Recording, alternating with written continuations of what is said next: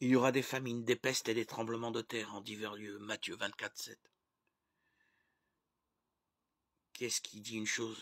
Et elle arrive quand l'Éternel ne l'a pas commandé Lamentation de Jérémie 3, 37. Le Seigneur est patient envers vous. Ne voulons pas qu'aucun périsse, mais que tous viennent à la repentance. De Pierre 3, 9.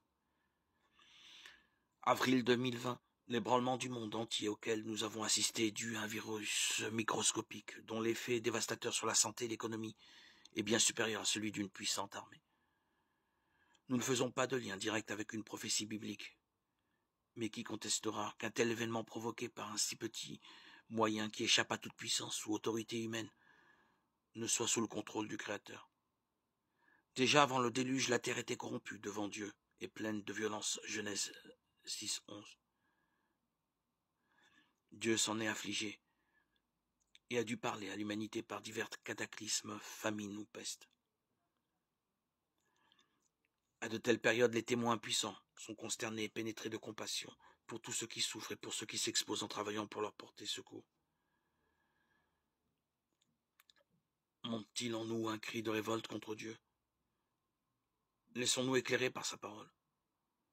Je connais les pensées que je pense à votre égard, dit l'Éternel, Pensez de paix et non de mal, pour vous donner un avenir et une espérance. Jérémie 29, 11. S'il afflige, il a aussi compassion selon la grandeur de ses bontés.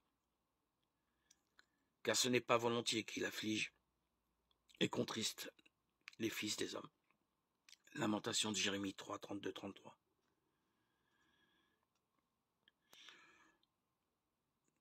Le Dieu de paix, par cette pandémie que nous avons connue, que nous appelons le Covid-19, a voulu nous délivrer du mal, nous avertir du jugement à venir. Patient, il a dirigé nos regards vers le seul moyen de salut qu'il offre gratuitement par l'Évangile. Dieu le Père a envoyé le Fils pour être le sauveur du monde.